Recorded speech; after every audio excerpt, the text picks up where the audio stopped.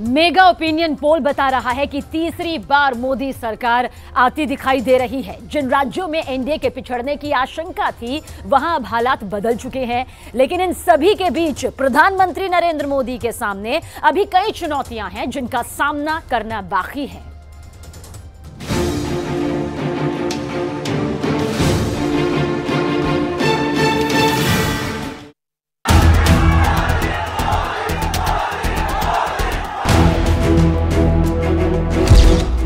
News 18 India के mega opinion survey के नतीजों के मुताबिक पीएम मोदी के 10 साल के नेतृत्व पर लोगों ने भरोसा जताया है। इंडी गठबंधन के एकजुटता के दावे खंड खंड होते नज़र आ रहे हैं। न्यूज़ 18 इंडिया का ओपिनियन पोल तीसरी बार मोदी सरकार के आंकड़े बता रहा है। ये ओपिनियन पोल एक लाख लोगों को लेकर किया गया है। यहाँ आपको बीजेपी की बड़ी जीत या एनडीए का टारगेट 400 नहीं दिखाएँगे। यहाँ आपको दिखाएँगे मोदी जैसे सियासी योद्धा के सामने अब भी चुनौतियाँ क्या हैं? कौन से वो राज्य हैं जो मोदी के सामने चैलेंज बनकर खड़े हैं? इन राज्यों में कमल खिलाने की कौन सी रणनीति पर बीजेपी काम कर रही है? क्योंकि जीत बड़ी चाहिए तो संघर्ष भी बहुत करना होगा।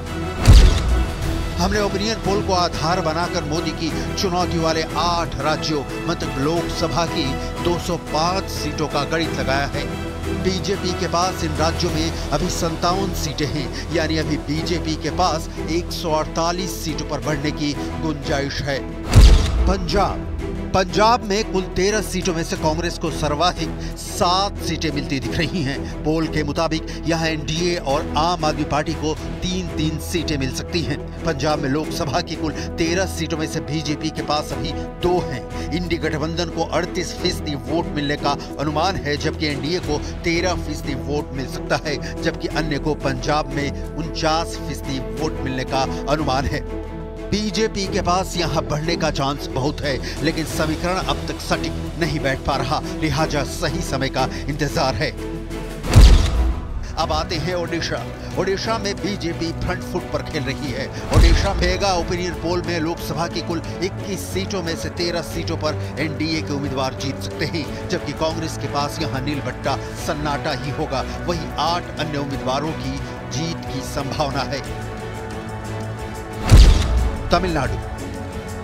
अगर तमिलनाडु की उनचालीस लोकसभा सीटों पर हुए मेगा ओपिनियन पोल की बात करें तो उनचालीस में से एनडीए को पाँच सीटें मिलने का अनुमान है, जो वाकई बीजेपी और एनडीए के लिए किसी चमत्कार से कम साबित नहीं होगा। वहीं इंडी गठबंधन को उनचालीस में से 30 सीटें मिलने का अनुमान है, जबकि अन्य को उनचालीस में से चार सीटें मिल सकती हैं। अगर वोट प्रतिशत की बात करें तो तमिलनाडु में एनडीए को 13 प्रतिशत वोट मिलने का अनुमान है, जबकि एनडीए गठबंधन को इक्यावन फ़ीसदी वोट मिल सकते हैं, जबकि अन्य को 36 फ़ीसदी वोट मिल सकता है। कर्नाटक मेगा ओपिनियन पोल के मुताबिक 2019 की ही तरह कर्नाटक में बीजेपी बम्पर प्रदर्शन करने जा रही है। राज्य में सरकार नहीं होने के बावजूद पोल में सामने आया है कि कुल 28 लोकसभा सीटों में से बीजेपी का एक बार फिर 25 सीटों पर कब्जा हो सकता है। तीन सीटें इंडी गठबंधन को यहाँ मिल सकती हैं। तेलंगाना 2024 के आम चुनाव में एनडीए का कारवां बढ़ता हुआ दिख रहा है। यहाँ अभी कांग्रेस की सरकार है, लेकिन इंडी गठबंधन बीजेपी के पीछे दिख रहा है। न्यूज़ एटीन इंडिया के मेगा ओपिनियन पोल के मुताबिक तेलंगाना में एनडीए को आठ सीटें मिलती दिख रही हैं, जबकि इंडी गठबंधन को छह सीटें तीन अन्य के खाते में होंगी। आंध्र प्रदेश। 2019 में आंध्र प्रदेश की 25 लोकसभा सीटों में से बीजेपी को एक भी सीट नहीं मिली, लेकिन अब की बार गणित बदलता दिख रहा है। चंद्रबाबू नायडू की तेलुगु देशम पार्टी और पवन कल्याण की जन सेना के एनडीए में आने से समीकरण बदल गए हैं। एनडीए को आंध्र प्रदेश में 25 में से 18 सीटें मिलती दिख रही हैं, जबकि इंडी गठबंधन यहाँ ज़ीरो पर है और सात सीटें अन्य के खाते में जाती दिख रही हैं।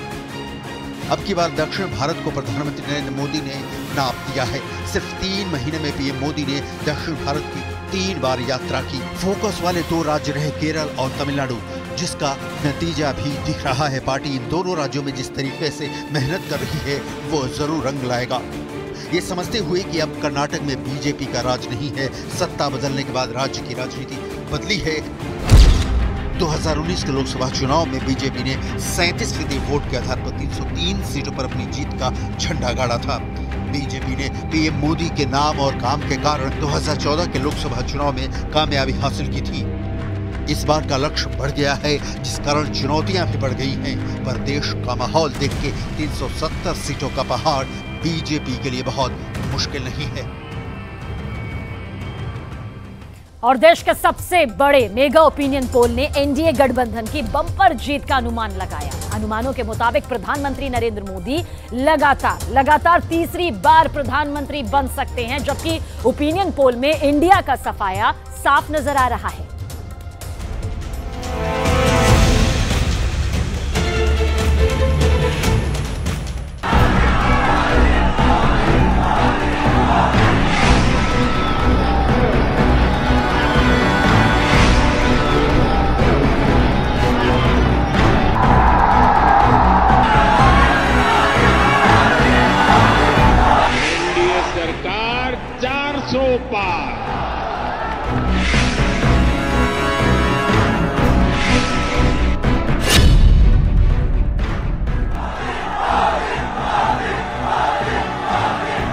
क्या तीसरी बार प्रधानमंत्री नरेंद्र मोदी एनडीए को प्रचंड बहुमत से जिताने जा रहे हैं। क्या वाकई में पीएम मोदी एनडीए को 400 प्लस सीटें जिताकर आसानी से लगातार तीसरी बार देश के प्रधानमंत्री बन जाएँगे? लोकसभा चुनाव 2024 की तारीखों का भले ही अभी ऐलान ना हुआ हो लेकिन इस वक्त देश भर में हुए मेगा ओपिनियन पोल के अनुमानों से साबित होने लगा है कि देश में ज़बरदस्त मोदी लहर चल रही है। मेगा ओपिनियन पोल के सर्वे के मुताबिक, एक बार फिर प्रचंड बहुमत से मोदी सरकार बनने जा रही है, ऐसा अनुमान है। हम आपको देश की सभी 543 लोकसभा सीटों पर हुए मेगा ओपिनियन पोल के नतीजों के आधार पर दिखाने जा रहे हैं कि क्यों तीसरी बार मोदी सरकार बनने का अनुमान लगाया गया। हम शुरुआत कर रहे हैं हिंदी बेल्ट के राज्यों से, जहाँ सबसे ज़्यादा एनडीए के पक्ष में जनता ने वोट देने का मन बनाया।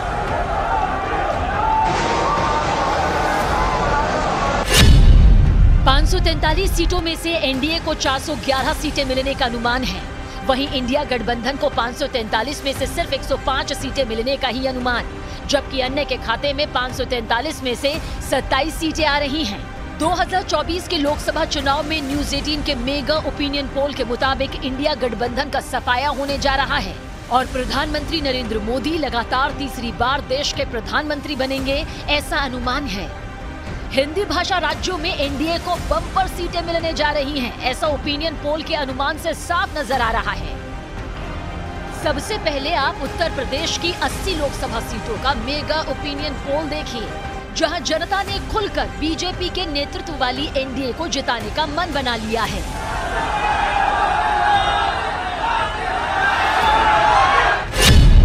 ओपिनियन पोल के अनुमानों के मुताबिक उत्तर प्रदेश की 80 में से 77 सीटें एनडीए को मिलने का अनुमान है, जबकि इंडी गठबंधन को दो सीटें मिलने का अनुमान। साथ ही अन्य के खाते में महज एक सीट आ सकती है। यूपी में एनडीए को सत्तावन फ़ीसदी वोट मिलने का अनुमान तो वहीं इंडी गठबंधन को 26 फ़ीसदी वोट मिलने का अनुमान है और अन्य को 17 फ़ीसदी वोट मिलने का ही अनुमान। अब बात करते हैं बिहार की, जहाँ एनडीए में शामिल नीतीश की जेडीयू समेत कई पार्टियाँ शानदार जीत दर्ज करने जा रही हैं। बिहार की 40 लोकसभा सीटों पर हुए मेगा ओपिनियन पोल के मुताबिक बीजेपी के नेतृत्व वाले एनडीए को 40 में से 38 सीटें मिलने जा रही हैं, जबकि इंडी गठबंधन को 40 में से केवल दो सीटें मिल सकती हैं। साथ ही अन्य को एक भी सीट नहीं मिलेगी अगर वोट प्रतिशत की बात करें तो बिहार में एनडीए को अट्ठावन फ़ीसदी वोट मिलेंगे जबकि इंडी गठबंधन को सिर्फ़ 28 फ़ीसदी वोट मिल सकता है अब आप 29 लोकसभा सीटों वाले मध्य प्रदेश का मेगा ओपिनियन पोल भी जान लीजिए। यहाँ एनडीए को 29 में से 28 सीटें मिलने का अनुमान है, जबकि इंडी गठबंधन को 29 में से सिर्फ़ एक सीट मिलने का ही अनुमान। साथ ही अन्य के पास एक भी सीट न आने का अनुमान। अगर वोट प्रतिशत की बात करें तो एनडीए को एमपी में अट्ठावन फ़ीसदी वोट मिल सकता है, जबकि इंडी गठबंधन को 38 फ़ीसदी वोट मिलने का अनुमान और अन्य को 7 फ़ीसदी वोट मिलने का अनुमान है।